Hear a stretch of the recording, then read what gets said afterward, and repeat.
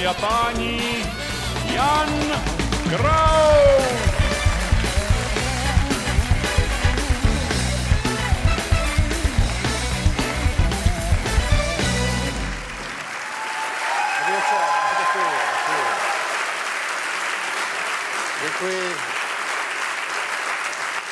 Děkuji. Dobrý večer, dámy a pánové. Včera jsem slyšel v rádiu, že se u nás objevila první vlaštovka. Uh, jsem si vědomý toho, že jedna vlaštovka jaro nedělá, ale zaujalo mě, že uh, u nás prý ornitologové ji prostě poznali a zachytili. Jednak mě zaujalo, že vědí, že není druhá, že je první, že v tom není zmatek, to mě uklidnilo. A chtěl jsem mě hned poprosit naše ornitology, jestli by nenašli ten Boeing 777, co měří 75 metrů. A možná ho už teď našli nebo trosky, ale možná naši ornitologové, že by to našli. A pak jsem zjistil druhou věc, vyšel nějaký průzkum veřejného mínění a v novinách, jako vždycky, z toho byl jenom vytržený takový kousek, že až 30% lidí u nás si myslí, že ta změna společenského a politického systému se nevyplatila.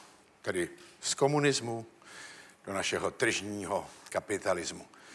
Mnou to hluboce otřáslo, proč se nevyplatila ta změna a jak se vyplatí teda ten starý systém proti novým. A pak jsem si řekl, že se podívám na ten průzkum detailně, tak jsem si ho našel a musím říct, že mě to trošku uklidnilo, protože když jsem ho studoval, je teda pravda, že ve všech negativních parametrech, skepse, nespokojenost a tak dále, máme dvojnásobný procenta proti Polákům třeba.